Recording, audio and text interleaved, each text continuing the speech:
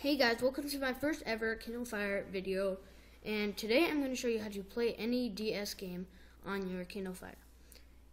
Now, for this, um, you are going to need a computer, so if you do not have access to a computer, um, it's impossible. But first, what you want to do is go to the link I put in this description on your Kindle Fire, which I have it, so, um, yeah.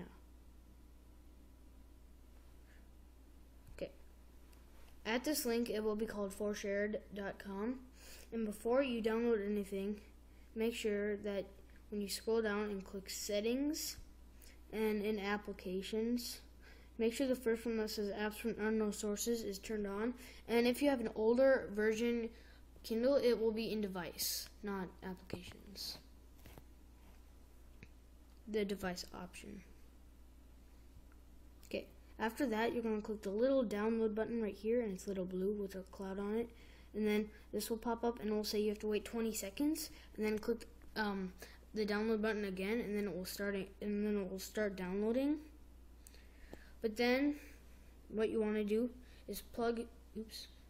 Just plug your Kindle Fire into your computer, and then let's get on with the computer. Alright, so on the computer, you're going to want to open up your browser and go to Google. At Google, let me, okay. At Google, type in coolrom.com. And then it'll be the first one that shows up, most likely. And then click ROM files. Then scroll down and click Nintendo DS. And then scroll down and find the one you want. Um, I'm just gonna click M because there's so much games. It's in like alphabetical order. Click whichever letter you want them. You want it. Let me just download. Hmm. My Sims Kingdom. So once you click the one that you want, oops, this is an advertisement. This sometimes happens. How do I get rid of it?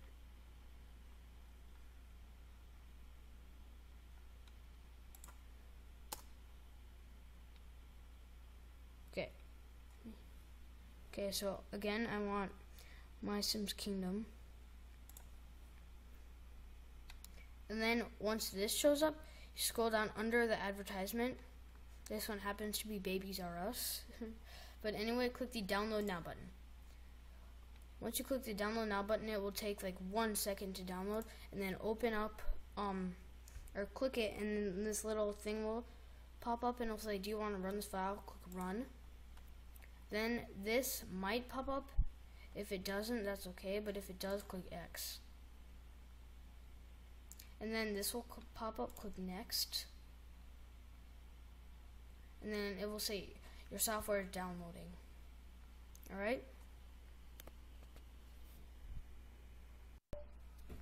Alright guys, now it is done downloading, so all you do is click finish. And then this will pop up and the one that you downloaded will be selected in blue. Um, then you just pull that to the side.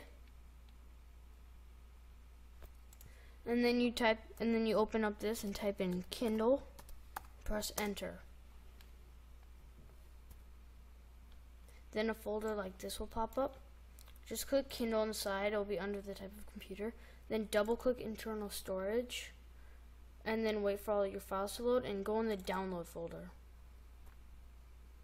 Then in the download folder, drag the MySims zip file into your into your downloads on your Kindle. And it will take about a minute or less.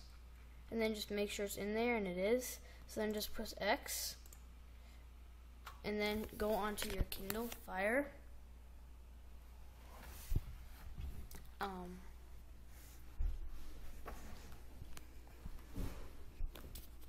and on your Kindle Fire,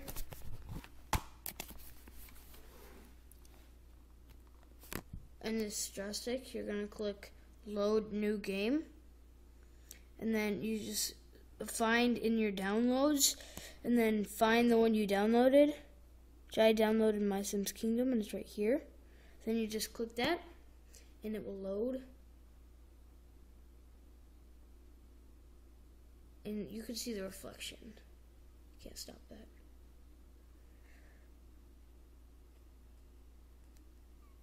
Okay, never mind.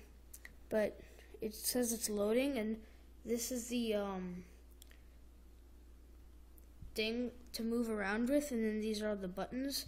There's a left button right here and a right button right here like there would be on the back of ds and this is like the top screen and this is the bottom. But you could actually change the way that the screen looks.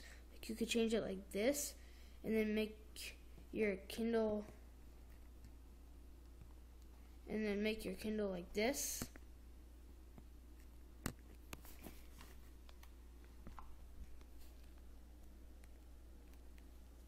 and then you could play like a normal DS. Right now, um, this game is just starting right now. It says licensed by Nintendo.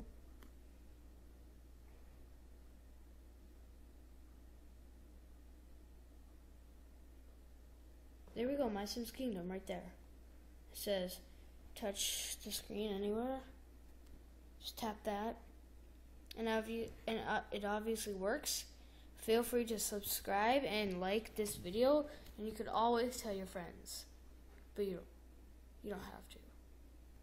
But it would be really nice if you did. Anyway thanks for watching. Hope you enjoyed. And yeah that's about it. Fuzzy out